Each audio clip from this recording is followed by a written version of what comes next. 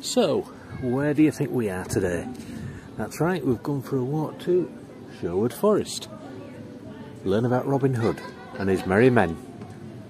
Come join us and see the Great Oak and everything else that there is to see. Right, we're leaving the car park now, and I'm just going to let you read these signs. It'll be quite funny.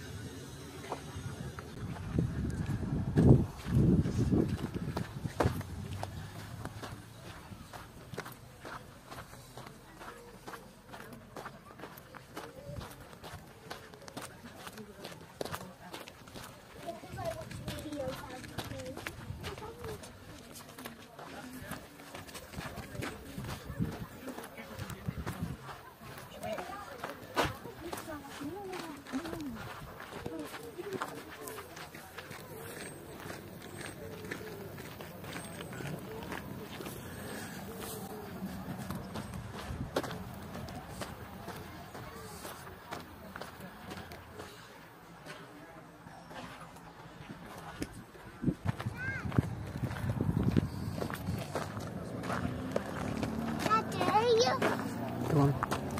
Where's my drink? Ella's taken it and left it in the car for you for later. There you go. In the in the top holder. Yeah. Come on, straight on. Stop! Come on. What's in? There you go. Oh Hold my hands. Then, careful, there's something on my finger. Right. Belongs. Wait, little bit. Go to the wall. My boy. Go this way.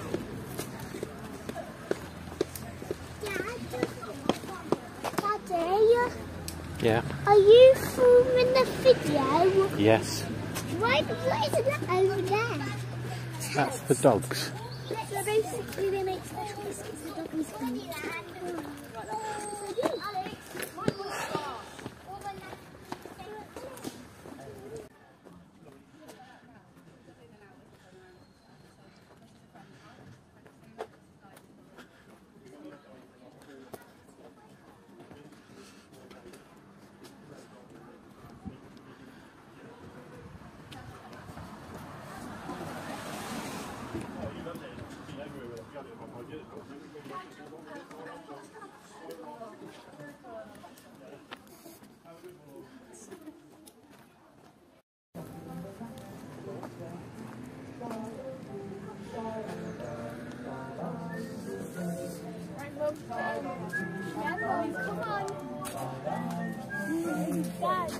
Mm.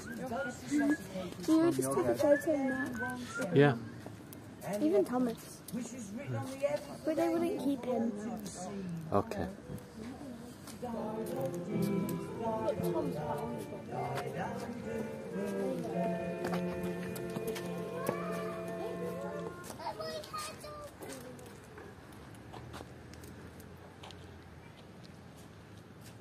Thomas.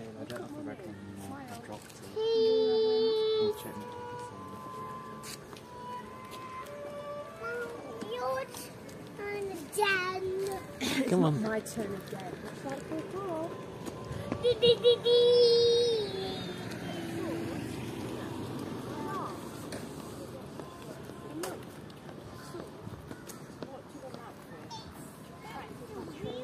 Did you get a chance to read those jokes in the car park at Sherwood Forest Car Park? Some comical ones there, aren't there? Right. Uh, we've entered the main area now, and the first thing I'll explain is that you'll go through the visitor centre, which has a little cafe in it. Not a cheap cafe, but a standard cafe. We'll go through that, and as we go through Sherwood, I'll tell you one or two facts about it.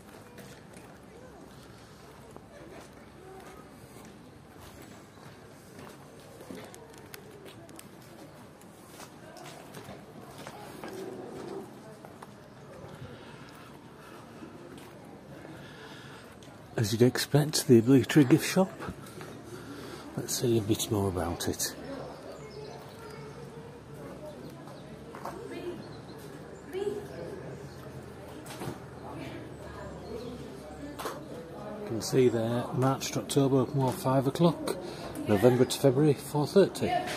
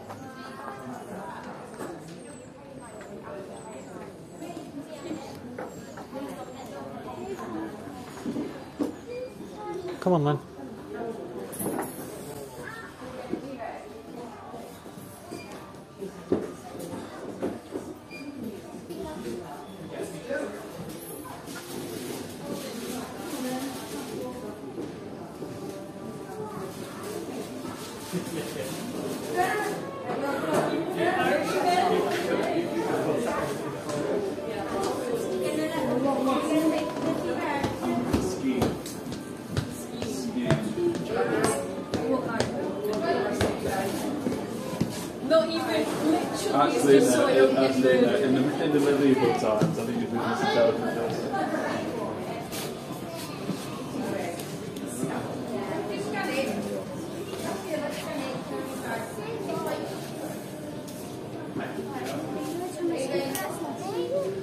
See, even Doctor Who makes his appearance now and again.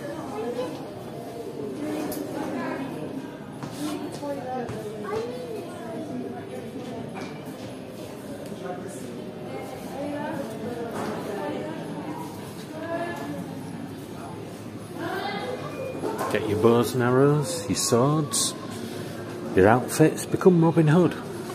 Maid Marian.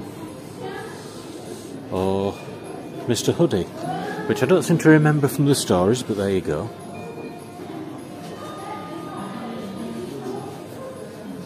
Plenty of books about the wildlife, which is one of the things that a lot of people come here for.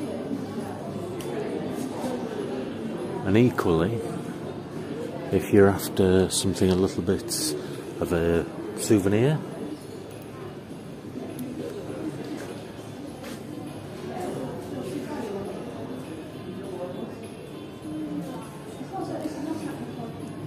exactly the cheapest, but this is how they make the money, how they can look after everything.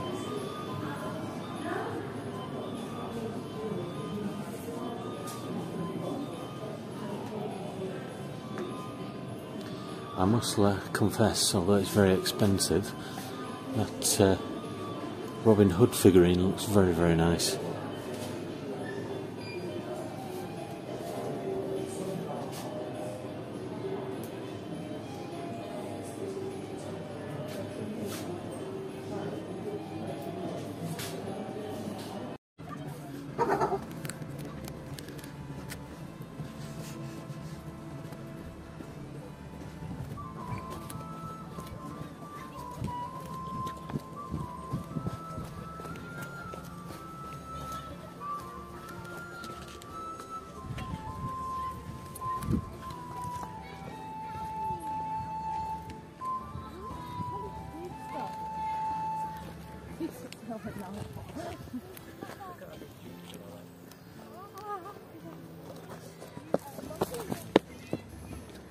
This. Action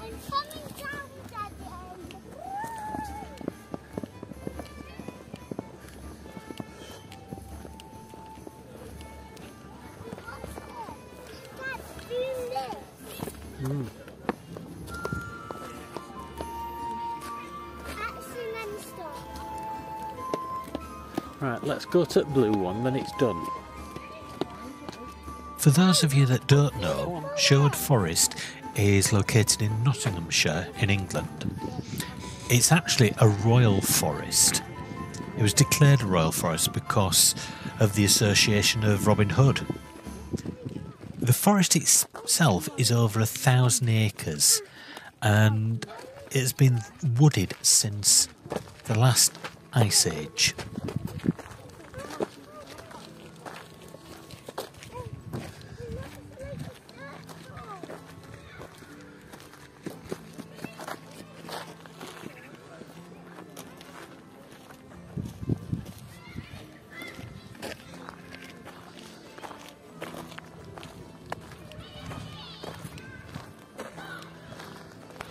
Might have noticed, there's different coloured signs depending on how long a walk you want to go. So we're taking the blue walk, which is to the Major Oak, which is the one from the stories of Robin Hood. But through that, we'll walk through the actual uh, wood itself, the forest of Sherwood, where all this happened.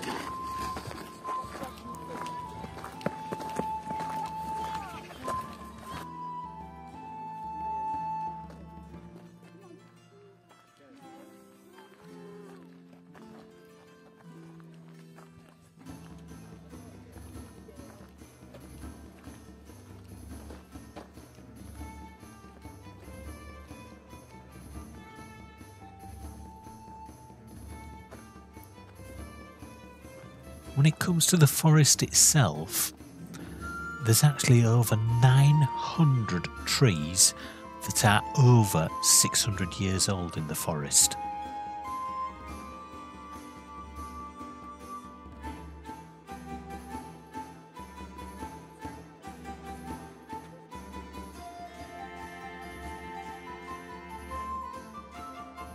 The reason why these trees have lived for so long is because a long time ago, cutting down trees was prohibited in Sherwood Forest. If you was caught, you faced prison or to pay a huge fine.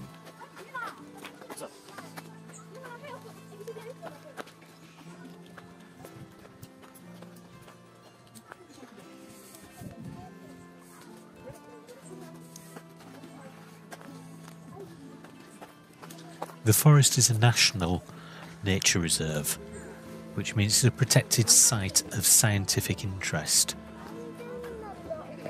The reserve holds the highest concentration of ancient trees in the UK, and this gives researchers the ideal opportunity to understand the habitat that's been in existence for, well, going back to the Ice Age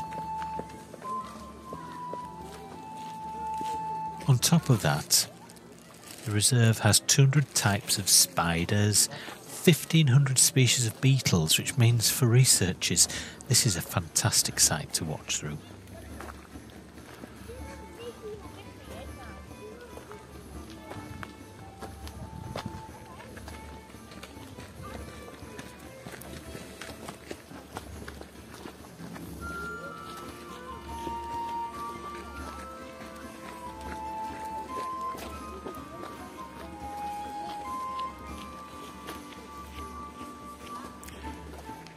Can see why it'd be easy for men on horseback to be ambushed in this sort of place. You could be two foot away and not be seen at all. And no doubt it was even thicker in those days than it is now. In medieval times, it was common for people to be attacked on the roads through Sherwood. Many ex soldiers who'd fallen on hard times, people wanting a little bit of extra money. The friars, the monks in the area would be the wealthiest people in the region, and they would have to travel on horseback through this area.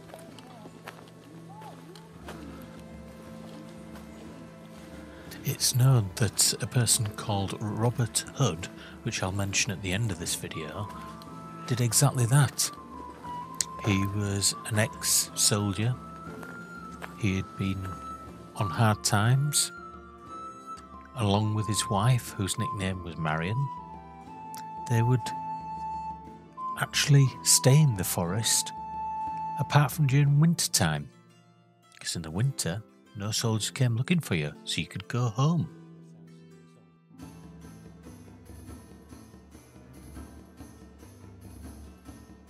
Now, Sherwood Forest isn't as big as it used to be. It was part of the royal hunting ground for the king, and only the king and other nobility, like the Archbishop, Archbishop of York, were allowed to go hunting. Many of those who fell on hard times saw all these deer running around, food that they couldn't find for their own family, so they became outlaws. Getting food to put on the table. You can see where there'd be places in the forest where somebody could stop and have a camp. Bearing in mind that this used to be enormous compared to what it is now.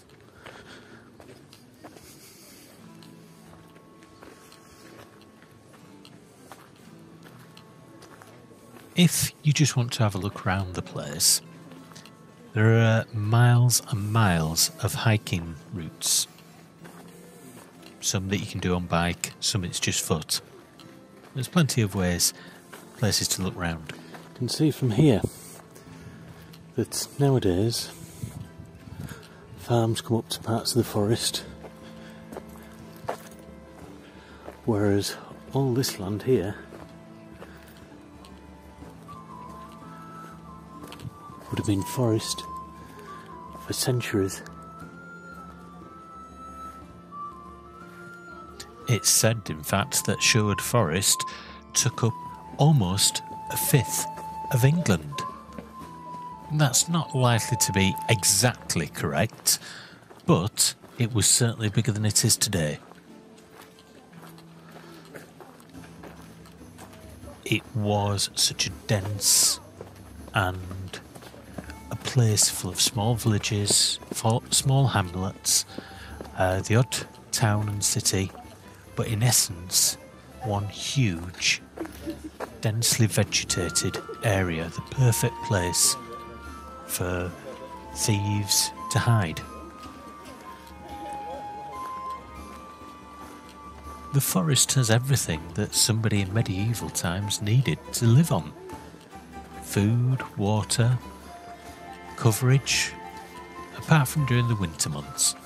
Then it was the most inhospitable place you could be.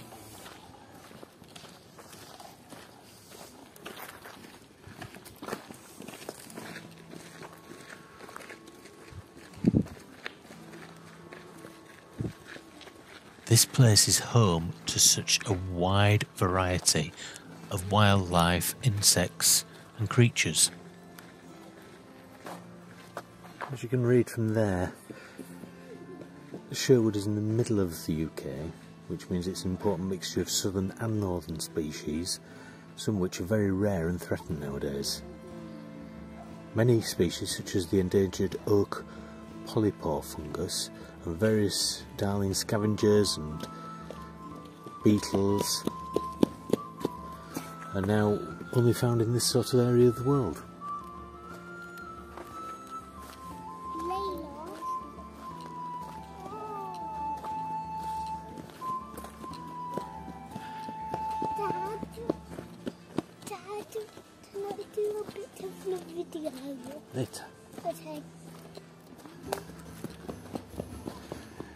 Not allowed to camp, have barbecues or anything like that, and picnics are only allowed in the specified areas because of the fact that so much of this is unique forest.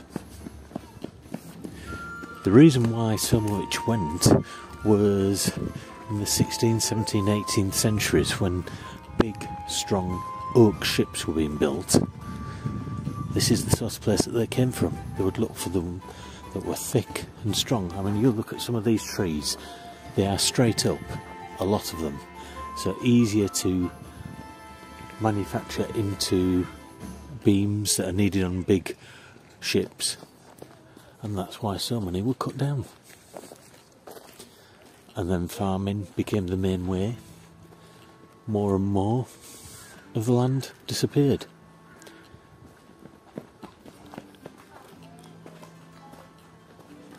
But even now, some of these trees, I mean, listen to ones you can tell are newer, but you see the odd one in the distance that is huge. You've got to imagine that a lot of them were in that case a awful lot.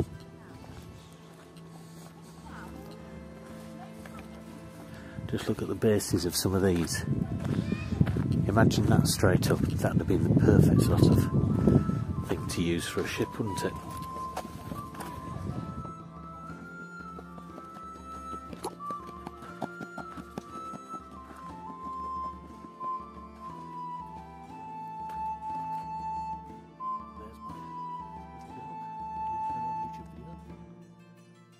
As I'm sure you already know, Britain had the largest navy of its type from the 16th, 17th, and even into the early 18th century. And they were all made of wood. So, forests were used, found, the trees cut down, and a number of forests disappeared totally. And those that didn't disappear were used to get the strongest, tallest, straightest trees with the widest trunks to produce these strong battleships. And that tended to be the older trees. So a lot of the older trees was destroyed, taken down. And that's what destroyed a lot of forests in that time. Archaeologists have even seen sites that on the forest that used to be Viking. This place has been used for so many centuries.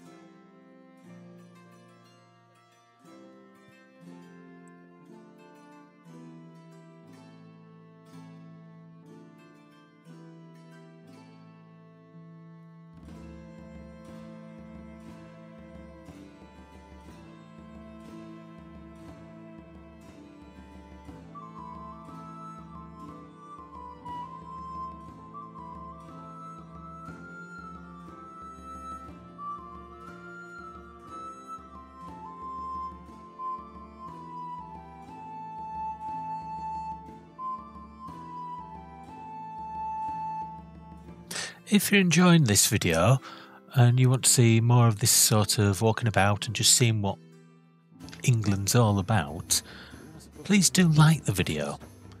And if you want to see more, subscribe. It costs you nothing and it helps me.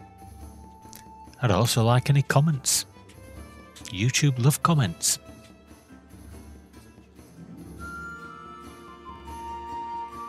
One thing that you do notice when walking through the forest is that the organisation of this place has meant that there are paths that anybody can use. It's not a situation you're walking over dense woodlands and rubbly paths. If you came with a pushchair, you could quite easily push the pushchair over here. It's just nice flat ground.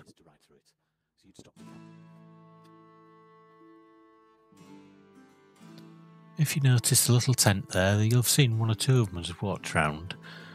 During the summer months, they do little uh, craft centres where you can learn skills, even to the extent of learning how to photo- take photos of wildlife better.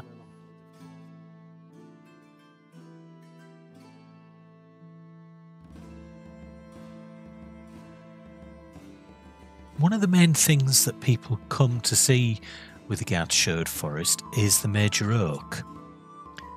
It's an iconic feature of Sherwood Forest and it's known through the stories eh, as a place where Robin Hood actually went to hide. Therefore, it attracts an awful lot of tourists just to see that. The true age of the major oak is not known, but it's estimated to be up to about 1100 years old. This is because the tree has been around from the time of the Vikings. It's seen Shakespeare, Charles Dickens, Darwin, Newton, two world wars. The tree has also got one other major thing. It is the biggest tree in Britain.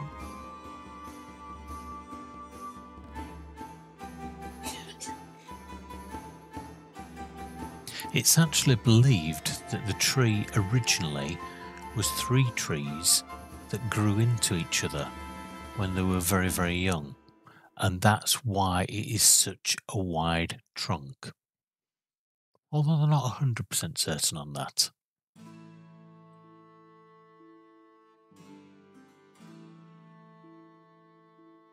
Now, everybody's heard that Robin Hood stole from the rich and gave to the poor.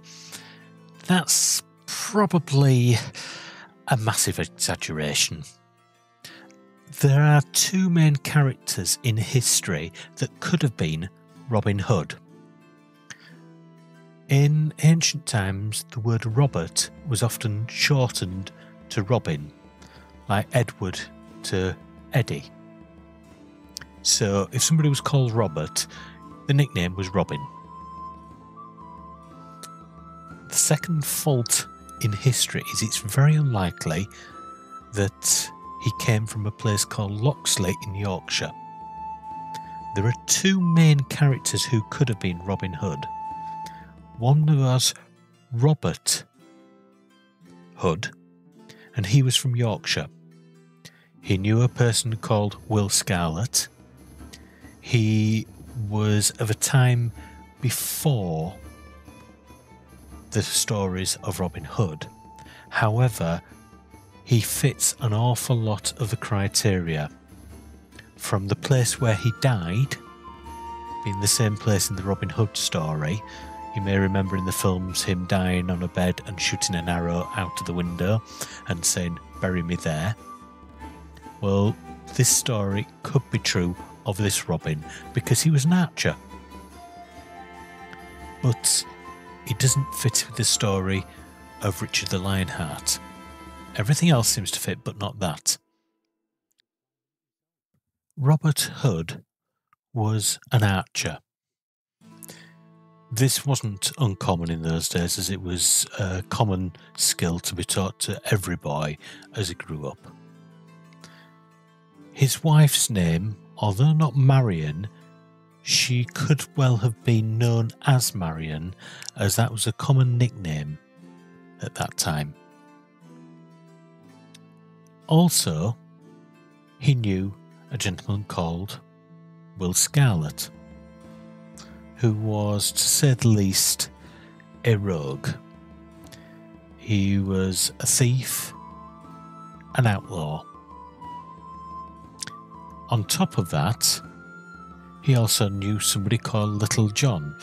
Now, it's believed this was nothing to do with the size of the person, but more of the type of theft that he was involved with. Robert had been involved in the War of the Roses. He had lost, and the Sheriff of Nottingham had been involved in negotiations allowing the soldiers to continue on their lives after losing the war. They had to serve penance and work for him for a bit. Robert was known to have, in the time between losing the war and being given that penance, to become an outlaw to feed his family. He then joined to work for the sheriff and is believed to have been injured. On top of that, in the stories, it is stated that he died and shot an arrow out of the window of a building where he would be nursed. The person who nursed this Robert, just like in the story of Robin Hood, said to have left him to die there from his injuries. This person was actually related to the woman that we know as Marian. It was her sister. So we've got a situation where a man goes into the forest to provide food for his family. He then has to become part of this sheriff's thing, where it means he's away from his wife he gets injured, taken to a hospital of sorts, basically um, nuns and helpers, and he's left in the corner of a room to die, not looked after. So there's a lot going for this Robert Hood, which, as I say, Robert, the nickname was Robin. He knew the right outlaws. We know for a fact that he actually had to survive in Sherwood Forest for a while. But he never had anything to do with Richard the Lionheart because he was from a time before then.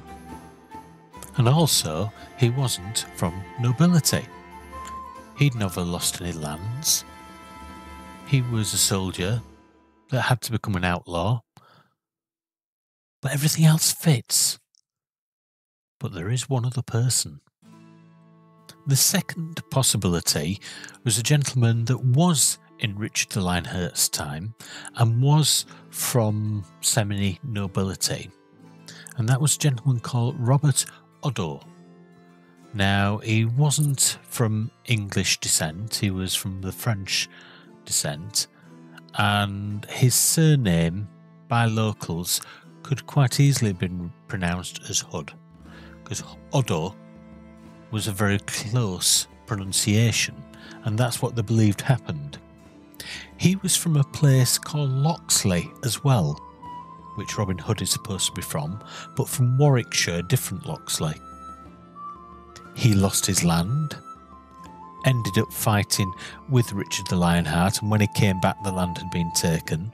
When Richard finally came back to the UK, uh, sorry, Britain as it was then, that's when he got his land back. But for a time, he was destitute, lost all his land, and this is where the Sheriff of Nottingham came in, because he was the one who helped take it.